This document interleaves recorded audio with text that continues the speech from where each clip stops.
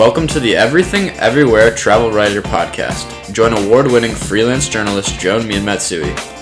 Each week, you'll hear guests from all walks of life share their travel stories, tips, and advice on a variety of travel related topics. Thanks for spending time with us today, and now it's time to dive into our interview. Anyone who knows me understands I take fly fishing seriously. I also love fly fishing books, and particularly picture books that engage children with heartwarming stories. Today's show is dedicated to outdoors oriented travel, but my listeners who prefer to observe nature from their hotel room or a car window will want to stick around to hear my guest talk about his travels. My guest today is a longtime publishing professional and an avid fly fisher from Albany, California. He's the winner of the 2018 IFTD AFFTA Award for Best New Entertainment Education Product for his book Down by the River. Please welcome Andrew Weiner. Hello, Andrew. How are you? Do you, do you rather be called Andy or Andrew? You know, I prefer to be called Andy, which is funny because the book is published under the name Andrew. And I guess I thought if you're going to have a book published, you should appear serious or something like that. So I went with Andrew, but Andy is what most people call me. Let's set a relaxing tone and we'll just say Andy. Okay. All right? When I opened your book, I was in awe of the illustrations. Down by the River is an extraordinary story about fly fishing and a particular trip, and the illustrations are beautiful. When you open the book, the uh, inside cover and the outside cover are all different types of flies that people use in fly fishing. And I think that's just absolutely gorgeous. I love the book, and I wish my kids were young enough that I could lay down at night on the bed next to them and read your book to them. Tell me a little. Oh, it, it is. It's just absolutely gorgeous. Tell me. I what I tell people about the illustrations yes. is I, I always can say that I think it's the most beautiful children's fly fishing book ever published, and it's okay to say that because I didn't do the illustrations. They were done by April Chu, who is a, a really talented artist who I met at a party actually here in Berkeley that was a gathering of children's book authors and illustrators. And she had her portfolio with her, and I could see how talented she was.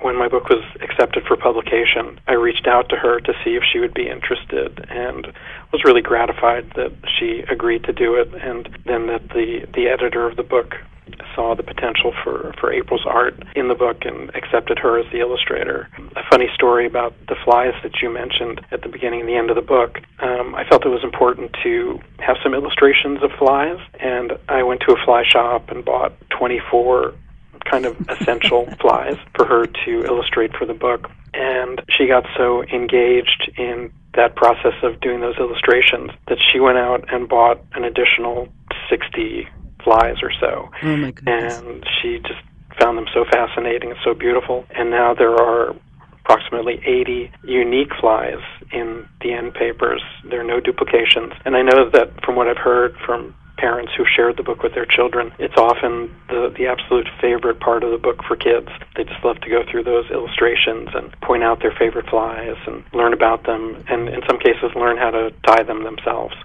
Well, you know, the other thing about it that I love is that, I mean, I'm relatively new um, to fly fishing. And when I'm out and out fishing and I there's a fellow fly fisherman next to me, I'll ask, what are you using today? And he'll say, oh, you know, he'll rattle off like a, a particular name. And I'm thinking, you know, the wheels are turning in my head trying to think about what that particular fly looks like. I wish I had your book with me when I'm out fly fishing so that if somebody mentions a, a particular one, I can just refer to it and say, "Oh, okay, you're talking about this particular one." So they are they are just so well done that about- you could use Oh, I'm it. sorry.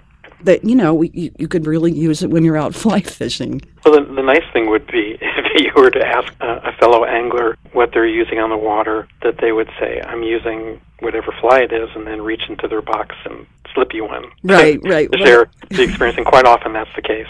Yeah, um, that's that's typically yeah. what's happened. You know that, that that sadly a couple of times I've asked somebody and they've told me what they're using and then they turn away and don't share their fly. Right. And I just feel like, ah, it would have been nice if you'd given me one or shown me one and most of the time people are very nice though. Yeah, they are. Typically the people I run into are very, very nice. What I wanted to know a little bit, um, I've never been to Albany and I was wondering in the event that someone in the audience would like to visit, or connect with you. Give us, you know, a, a, little bit of a description about Albany and whether you, you know, you grew up there or what you love about it.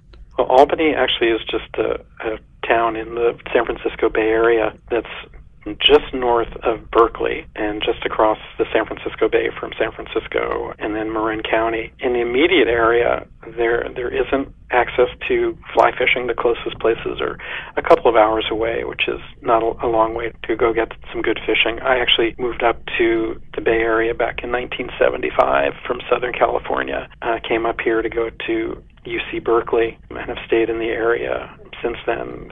It's such a great place to live. So with fishing a couple of hours away and then really excellent fishing maybe three to four hours away, it's a great location to get to experience uh, the, world of fly fishing. Plus just the, the general outdoor recreation that we have here in the Bay Area with you know, beautiful trails and, and the bay and the ocean not too far away.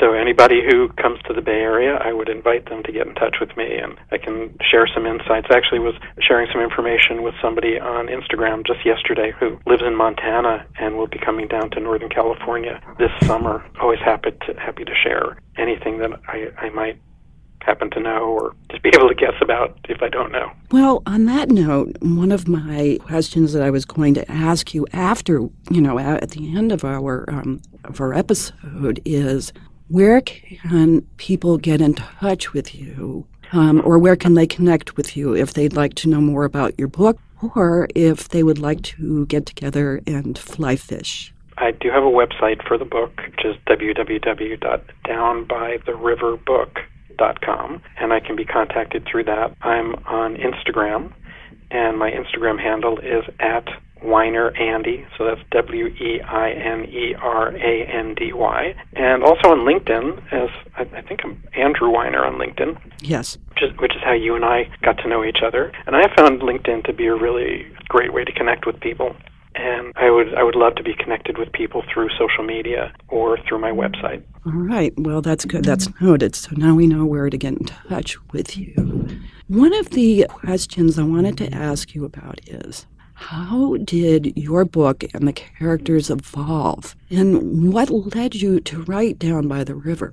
As you mentioned in my um, biography, I'm a long-time bookseller. I've worked in publishing actually since high school. I worked in the public library and then ended up working in bookstores and have worked for publishers for, for many years. And I, I love books and I love children's books. And I also obviously love fishing and fly fishing. And some years ago, I had the thought that with the experience that I have, I hoped that I'd be able to write a good children's book. And since fly fishing is the thing that I, I truly love the most as recreation, that that would be the theme of the story. A lot of people have asked if the family in, in the story is specifically my family. And honestly, it's not. um, it's a story that I thought would appeal to families in particular with the boy and his mother and his grandfather spending the day fly fishing together um, as a, a family activity that the grandfather and mother had shared when the mother was a child. It's just a, a long time family tradition. And I think that's the case for many fly fishing families, that it's something that connects generations and that there are places that people return to year after year and generation after generation that are, really special to a family.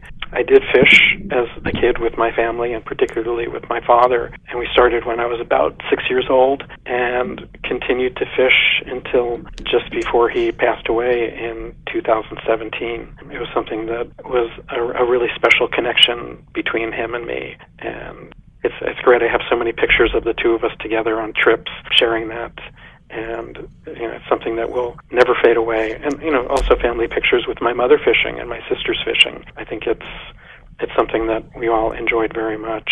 And just in terms of the origins of the story, when I first started writing it, I was part of a community online called the Northern California Fly Fishers Board, which was an interesting gathering of people who could be very curmudgeonly. We shared a love of fishing and quite often a general animosity towards each other because of our different political feelings. And when I, I wrote my first couple of drafts, I shared it with the board, some people who were willing to take a look at it, and got some really great feedback um, in terms of some of the things that I'd written and things that can be improved. And you know, over the, the course of honestly almost 15 years, um, I continued to work on the book and showed it to various publishers through a couple of different literary agents, and it, it didn't get accepted for publication. And mm. working for a publisher, Abrams Books, I thought maybe I could show it to an editor at the company. Uh, the first one who did wasn't sure that we could um, as a company publish a book by somebody who worked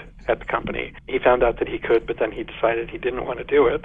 But there was another agent, or another editor rather, who as a child and now as an adult fished with her family and the story appealed to her and she wanted to work with me on it and over the course of about a year and a half we worked together on the story and she had tremendous impact on it and really turned it into something that could be published and I'm, I'm really, really grateful that she took the time to, to work with me and to make it what I hope is a really good book that, that people enjoy. Well, I will definitely attest that it is. It's a great, great book. And one of the things uh, I wanted to ask you, what type of work do you do at Abrams?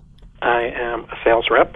Over my career, I've been both a sales rep and a manager for, for different publishers. And in my current position, I work with Western independent bookstores um, some of the, the great, great bookstores in the world, like Tattered Cover and Powell's and Elliott Bay and Book Passage. But I also work with Amazon. They're my customer, which is you know a seven-hour conversation about what it's like to work with Amazon. Um, yes. I also work with warehouse clubs like Costco and Sam's Clubs and BJ's back east and it's it's a really great job that gives me the opportunity to sort of experience all different types of retail and Abrams is a really wonderful publisher to work for. It's been it'll actually it'll be 18 years in May that I've worked for Abrams, and couldn't be happier to work for such a good publisher. Well, I, I also think that the fact um, that they published your book is, you know, it says a lot about that because it is really a, a book that I would recommend to anyone with young kids. Thank you. And particularly somebody who's outdoors oriented.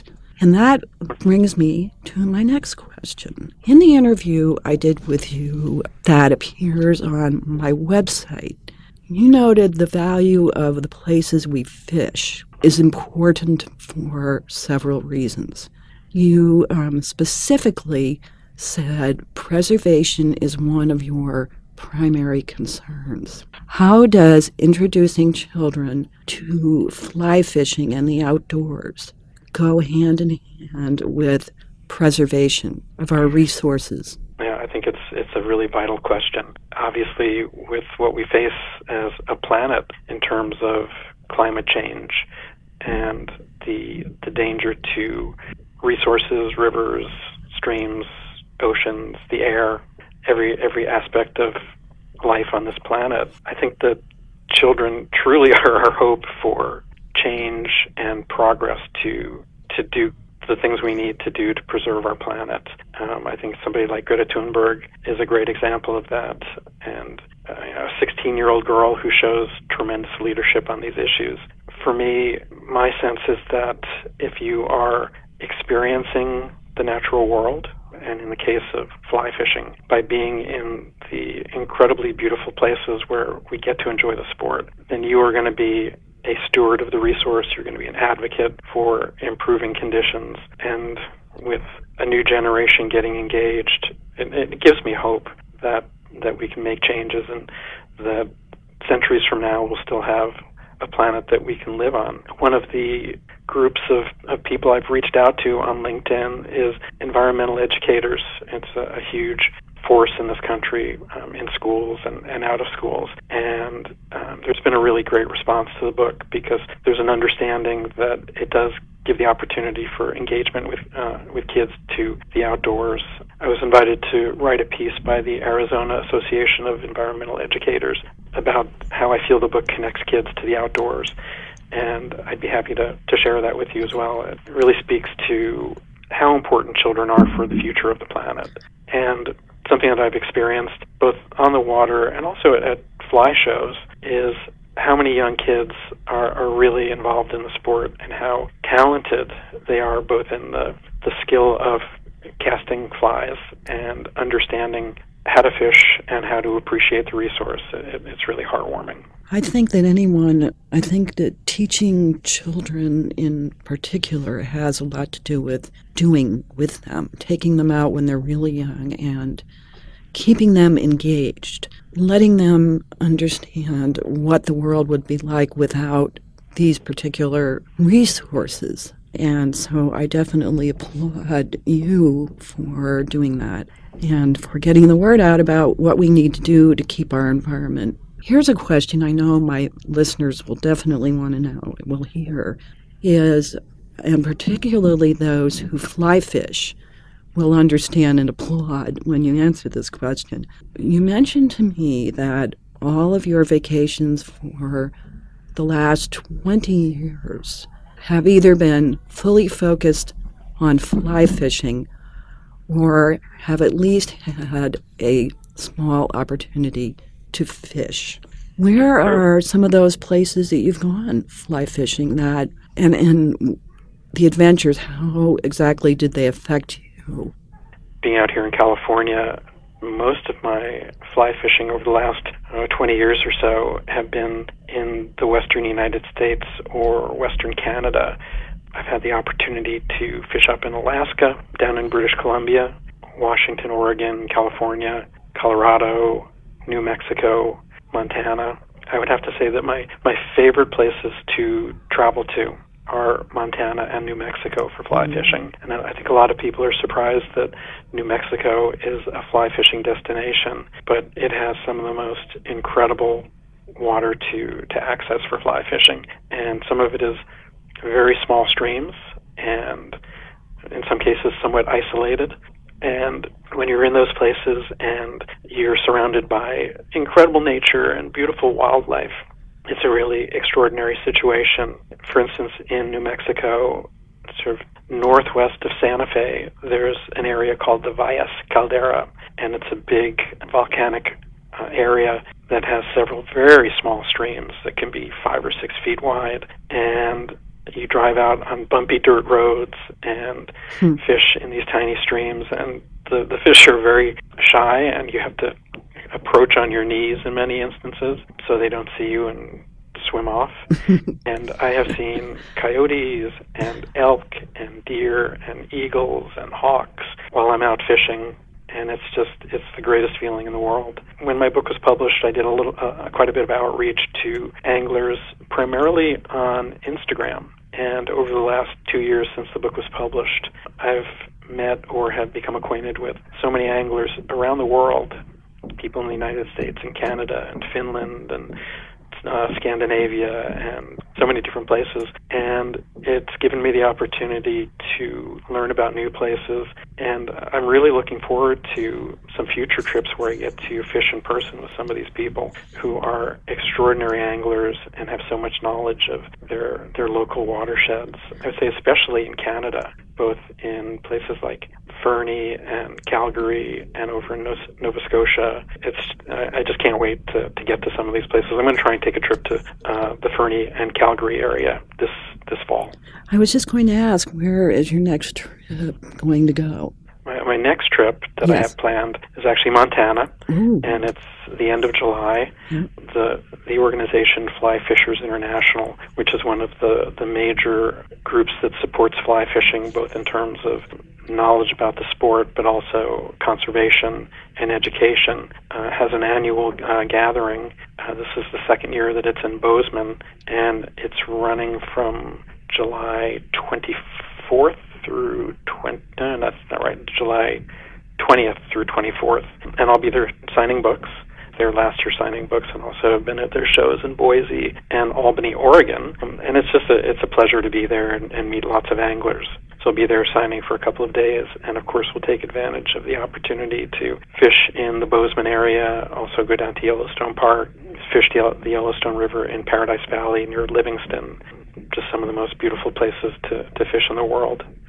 And, and just to, to tell you a funny story about doing signings, a lot of times I've been sitting in a, a booth signing my book, and anglers will come and sit with me, and they will just riddle me with questions because they want me to prove to them that I'm not just a writer who's made up a story that I, I want to sell as a book. They want to make sure that I'm actually an angler, that I have experience, that I can, you know, prove to them that I know what I'm talking about. And I can talk about New Mexico or Montana and my favorite places to fish. And you know, I haven't failed yet. but they they give me lots of tough tough questions and at the end they, they buy a book, they shake my hand, they thank me, and uh, it feels pretty good. Well, I think we're definitely going to have to get you to send us a um, photograph of you fly fishing um, that we can use with the show notes so that people believe you do fly fish.